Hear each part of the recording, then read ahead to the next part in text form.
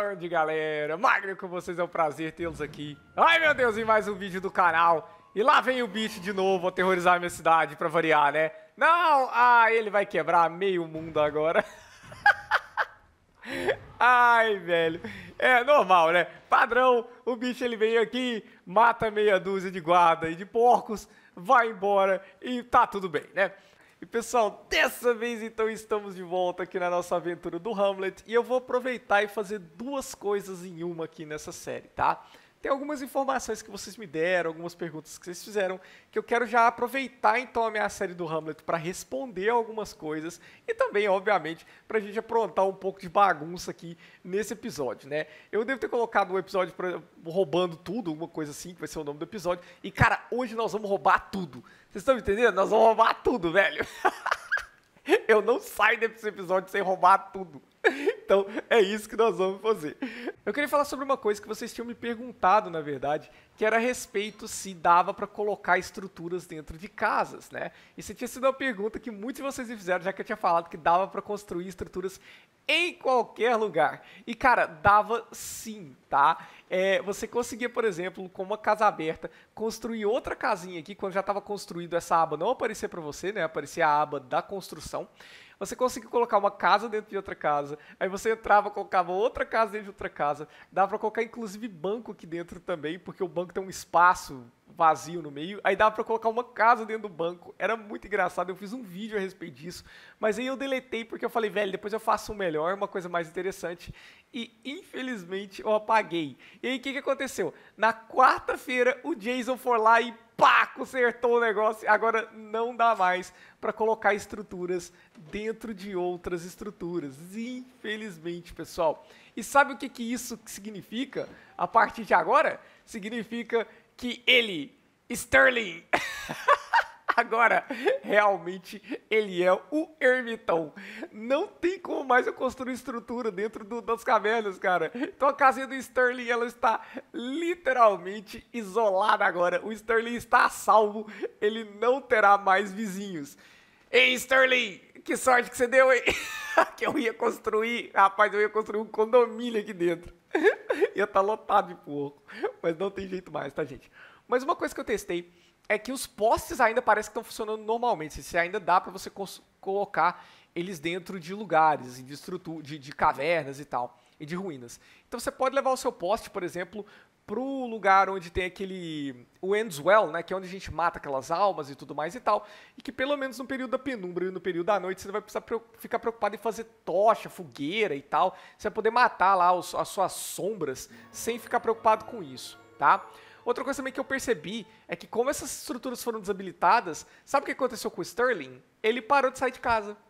É, ele não sai mais. Tá vendo? Durante o dia, ele andava por aqui. Se vocês voltarem no episódio do Sterling, o ermitão, vocês vão ver que durante o dia ele saía, ele andava por aqui e tal. Só que agora essas casinhas que estão aqui dentro, ó, elas, o, o, Sterling, ele falou, ele falou velho, des, é, desistiu da vida.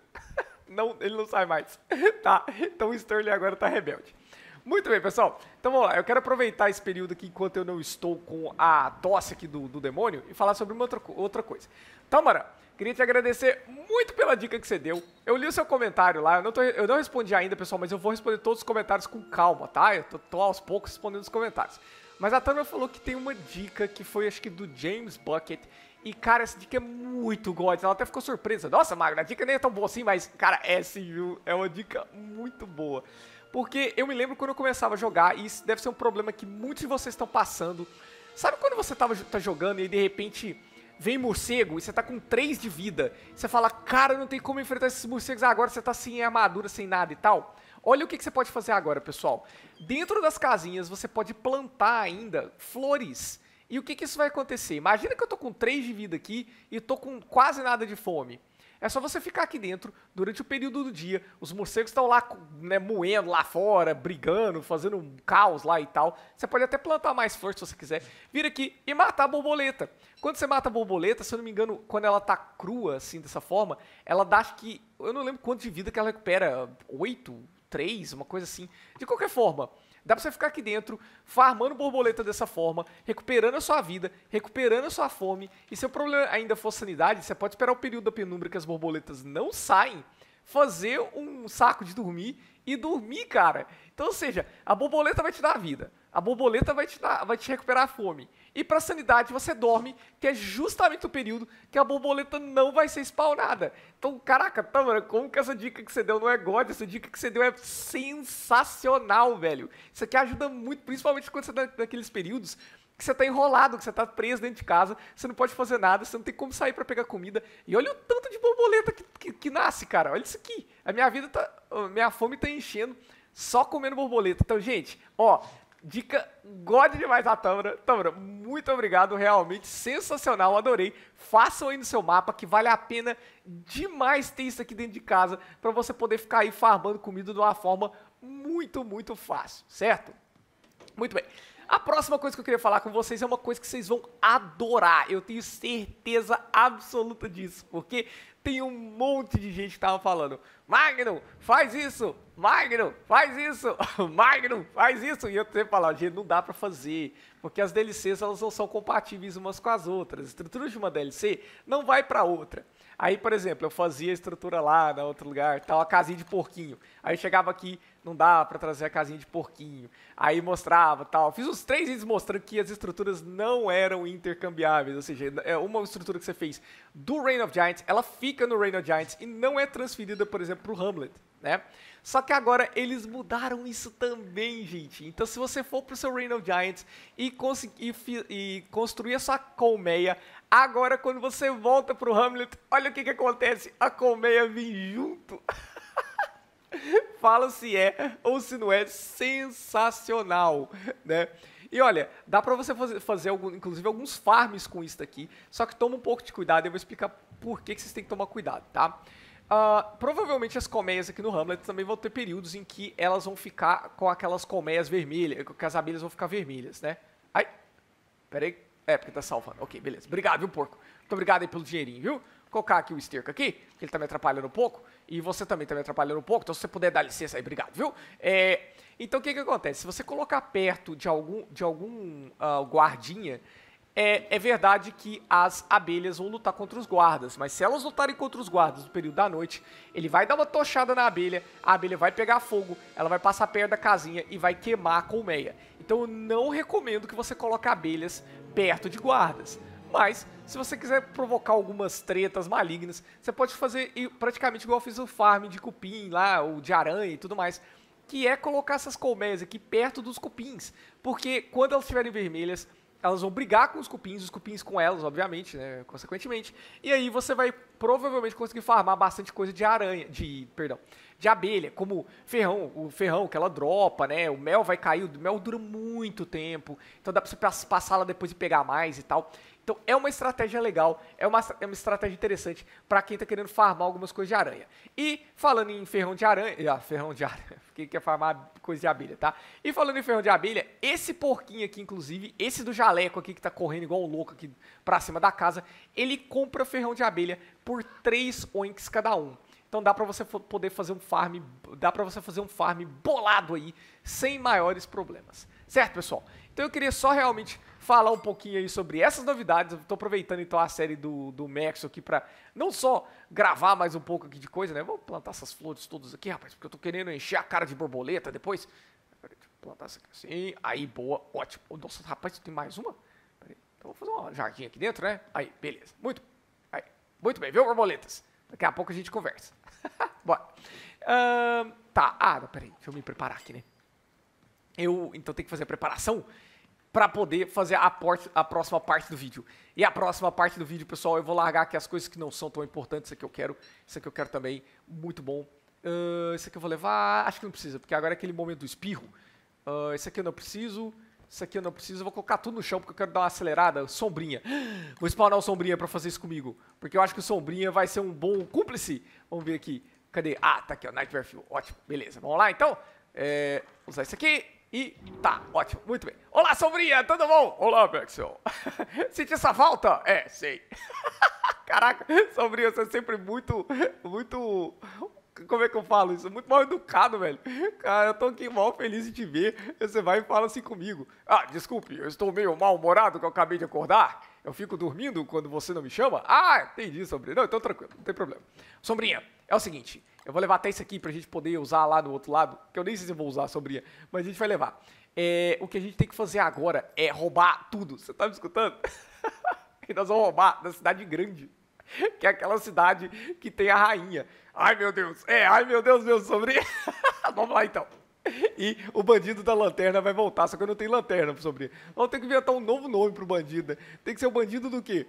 É... Eu posso me chamar agora, sobrinha, de Bandido das Sombras?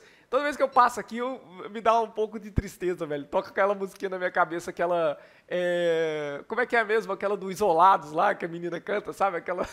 que eu não vou ver mais o Sterling, velho. Nunca mais. Ele nunca mais vai sair de casa. Muito triste. Sombrinha, é o seguinte. É... Agora eu sou o Bandido das Sombras. Você me escuta? Você me entende? Sim. Mas por que bandido das sombras? Porque você é uma sombra. Eu sou o quê? Não, nada, sombria. Você é meu amigo. Ah, bom. Ele não sabe que ele é sombra. Que? Não, nada. É, vamos lá. Então o que a gente tem que fazer, sombrinha? A gente tem que limpar isso aqui, rapaz. E nós vamos levar tudo. Eu não quero nem saber. Peraí, deixa eu aproveitar e pegar isso aqui, sombrinha. Porque a gente precisa, né, é, dar um jeito aqui de, de pegar tudo sem o, o porco ver. Aqui tem guarda? Deixa eu ver se tem guarda. Ah, oh, oh, oi, seu guarda, tudo bom? Você estava ocupado aí, né? O bicho estava tentando te atrapalhar. É quem que tá aqui? É o Edward. Ah, o Edward é um idiota. A gente vai conseguir nos safar disso muito facilmente. Eu trouxe só dois martelos, eu sou outro idiota. Ah, não, eu trouxe três, então tá bom, menos mal. Pera aí, deixa eu, deixa eu colocar aqui minha, meu chapéu aqui. Pronto, sombrinha. Agora estamos na forma certa de bandido é, das sombras. E vamos quebrar tudo que a gente pode. Ô, ô vai, vai, vai, quebrando aí, rapaz. Você precisa que eu clique em tudo? Você não consegue quebrar. Ah, ele não consegue quebrar, eu tenho que clicar. Muito bem. É, ó, eu vou quebrando, viu, ô sombrinha? E você vai vigiando aí, tá? Pode quebrar, não tem ninguém aqui. Ó o porco fazendeiro. Ô, ô porco, tudo bom? Aí ele fica emocionado se eu chegar perto dele. Cara, eu vou levar tudo, quero nem saber, viu? É, não adianta ficar emocionado, não. Eu vou levar mesmo. Pode ficar chateado, quero nem saber. Eu tô precisando de pedra, principalmente para poder fazer a minha cidade. Eu dou uma adiantada nesse, nessa parte do vídeo aqui, pessoal, porque basicamente a única coisa que eu faço é ficar roubando aí é, todos os murinhos dessa cidade, né? O bandido da lanterna ele acaba atuando na outra cidade e o bandido das sombras acaba atuando nessa segunda aqui. Uh, então eu acho que é, é, o primeiro encontro que eles têm com esse tipo de bandido, né? Uma vez que eu estava praticamente satisfeito com tudo que eu tinha pego, aconteceu um pequeno detalhe que me fez mudar um pouco os meus planos aí, como vocês vão poder ver. Deixa eu fazer mais uma pá aqui. Eu posso fazer pá, né? Pelo amor de Deus. Fala que eu posso. Aí eu não tenho graveto para fazer pá.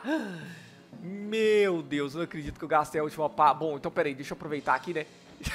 Tem que o bandido de novo. Que eu vou ter que roubar o graveto pra fazer uma pá pra poder roubar mais ainda o porco, coitado. Vou levar esse graveto aqui também, né, sobrinha? Fazendo nada mesmo. A gente aproveita e já planta lá em casa, porque tá precisando. Ai, ai. Pera aí. Eu tô parecendo aqueles velhos que saem pela rua e roubam muda de planta, velho, na casa dos outros, sabe, na porta. Ai, meu Deus do céu, cara. É muita falta do que fazer, realmente. Ah, vamos uma grama também, né, sobrinho? Não tô fazendo nada mesmo, né? Vamos aproveitar e já rapelar o porco inteiro, coitado. Ai, coitado do porco, cara. O porco vai ficar sem nada na casa dele. Ô, ô, bicho, você não tem nada mais o que fazer, não? Vai construir alguma coisa aí, vai. Que, que porco chato, cara. Ai, meu Deus. Pera aí, deixa eu aproveitar e comer essas coisas aqui pra poder abrir um... Ah, eu tenho um treco desse, vou, fazer, vou usar só pra abrir espaço. Porque, cara, eu vou ter que precisar de muito espaço, velho. Eu tô pegando tudo que tem aqui na cidade tem muita coisa ainda. Esses porcos aqui estão muito ricos. Vem, Sombrinha, vamos... Nossa! Olha isso aqui, Sombrinha. Tem um, tem um monte de coisa aqui. Vamos pegar tudo antes que o porco veja. Ai, meu Deus, até travou. Só porque eu tô roubando. Aí, boa, beleza. Nossa, que maravilha. Tem, tá cheio de pedra aqui, tem até uma picareta pra gente roubar, o Sombrinha, e poder fazer mais coisas, né? Você podia me ajudar no crime, hein, Sombrinha? Você me ajuda nisso aqui? Ah, aí, boa! boa, Sombrinha! Você sabe que isso aqui não pode roubar, não, né, Sombrinha? Não pode pegar isso aqui, não, né? A gente tá fazendo ilegal. Então você, ó, disfarça. Ai, meu Deus, porco, você tá louco? Você quer me matar do coração? Ai, peraí, que a gente não pode chegar tão perto dele assim, não, Sombrinha. Ele é meio burro, mas ele não é tão burro assim. Aí, peraí, aqui. Boa, vamos tirar isso aqui que ele tá meio distraído. Ah, que? Não, ele viu sombrinha. Ele viu sombrinha? Ou ele me viu? Não, ele viu sombrinha. Ai, meu Deus, corre, sombrinha. corre, sombrinha. Ai, meu Deus do céu, sombrinha agora é o fugitivo da polícia. Ai, meu Deus, Maxwell, o que eu faço? Socorre, sombrinha. Você tá ficando louco, não para não, nem olha pra trás. Cara, isso que droga, o porco não me vê, mas viu sombrinha. Isso é muito errado, porque agora trollou, hein, sombrinha? Entregou a gente. Desculpe, Maxwell. Peraí, vamos roubar outra coisa, sombrinha. Aquilo ali foi meio feio, né? Vamos roubar isso aqui, que eu acho que vai ser melhor. Peraí, aí, boa. Vamos lá levar isso aqui também. Ótimo, né? Ei, chegou a alergia. Agora, agora é o momento bom. Porque agora eu vou espirrar igual um condenado, velho eu tô sem a minha máscara e eu não posso usar a máscara também, né? Nesse momento, o processo aí de roubar quase que tudo tava quase chegando no fim, porque além dos meus martelos já terem acabado, minhas ferramentas também estavam meio que acabando. Uh, e, no caso, o chapéu, né, que é o mais importante, já que eu preciso dele para poder fazer aí os furtos, né? Mas, uh, enquanto tava, eu tinha mais um pouquinho de coisa, né, de martelo e tudo mais, eu tentei pedir uma ajuda pro Sombrinha, mas infelizmente isso nunca dá muito certo, né? Ô Sombrinha, você podia me ajudar a quebrar muro também, hein? Ia ser muito bom, sabe? Ah, não, não, eu já estou traumatizado porque eu sou agora um fugitivo da polícia. Verdade, Sombrinha, eu nunca ia imaginar que você ia ser um fugitivo da polícia e eu não. Ai, meu Deus, peraí. Uh, olha que coisa mais engraçada, como a vida é, né, Sombrinha? Uh, pois é, Maxwell. Uh, olha, não, peraí, aí, quero, quero, não, eu quero usar isso. Peraí, o que eu faço? Não? Ah, tá, ok. Beleza. Eu vou colocar uma dessas coisas aqui dentro. Só para não ter que ficar é, carregando coisas que... Esses, esses, esses inventários já estão fechados, né? Então não tem muita necessidade de ficar carregando isso assim. Bom, o, o martelo está quase acabando. Então eu vou aproveitar o restinho disso aqui. Ai, peraí que o porco está ali. E o sombrinha é procurado. Eu não sou, mas o sombrinha é. é. Deixa eu aproveitar esse resto de martelo aqui. Só para pegar um pouquinho mais de pedra. Pronto, acabou o martelo, né? Acabou, ótimo. Muito bem. Então vamos lá. Eu vou tirar isso aqui também. Eu vou tentar acabar com a minha pá, eu acho. Uh, vou pegar esse aqui. Esse aqui eu acho que... Nossa, rapaz. Ô, louco, isso não foi um espirro, velho. Isso aqui foi um... Ficou louco. Eu... Vamos aproveitar aqui então, sobrinha. É, já que aquele cara tá meio distante ali. Então, pra fazer nada mesmo.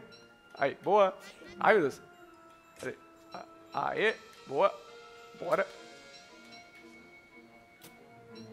Ai, meu Deus. Quase que o porco me vê. Tá, ele tá ali. Ok. Vai isso aqui também? Não fazer nada mesmo? Aí, pronto. Beleza. Uh... Ah, eu queria matar essa borboleta. Oh, a boa sombrinha! Caraca! Rapaz, aí sim, hein? É, que eficiência. Eu vi mesmo. Ah, bom, fiquei impressionado, viu? Ah, tá bom, vai. Chega, bora. Bora, sombrinha. É, já, já deu o que tinha que tá. Isso aqui. Já pegamos muitas coisas. Olá, seu guarda, tudo bom? Você viu aqui, seu guarda? Levaram tudo que absurdo, seu guarda do céu. Ah, peraí, peraí. Aqui, peraí. Aí, levar mais um aqui. Aí, esse aqui também.